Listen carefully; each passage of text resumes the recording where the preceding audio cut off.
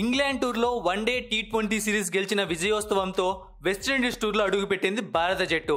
విండీస్పై గత పది ఏళ్ళుగా పరాజయం ఎరుగని భారత జట్టు హోరాహోరీగా జరిగిన తొలి రెండు వన్డేల్లోనూ గెలిచి వన్డే సిరీస్ను కూడా కైవసం చేసుకుంది. మూడో వన్డే తర్వాత జరిగే టీ ట్వంటీ సిరీస్ కోసం సీనియర్ ఆటగాళ్ళు వెస్టిండీస్కు చేరుకుంటున్నారు.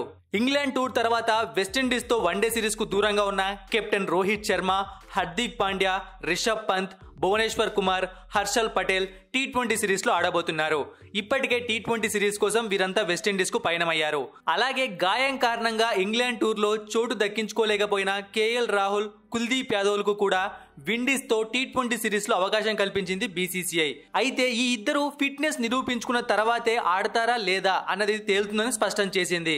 Senior spinner Kuldeep Yadav BCCI నిర్వహించిన పరీక్షల్లో ఫిట్నెస్ నిరూపించుకొని వెస్టిండీస్కు బయలుదేరాడు. కేఎల్ రాహుల్ గాయం నుంచి కోలుకున్న కరోనా పాజిటివ్గా వెళ్ళడంతో టీ ట్వంటీ సిరీస్కు అందుబాటులో ఉండడం అనుమానంగా మారింది.